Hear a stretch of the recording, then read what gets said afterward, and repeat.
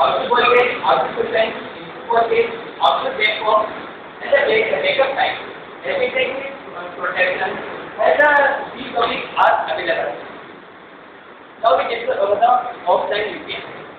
Offline UPS, it is a, it is a UPS. Here, if we keep the block diagram of online, it, it is the block diagram of online and the block diagram of offline UPS. different between the is, is the way it is, it is, it is there normally on and there normally off. And the intrinsic is normally off and there normally on.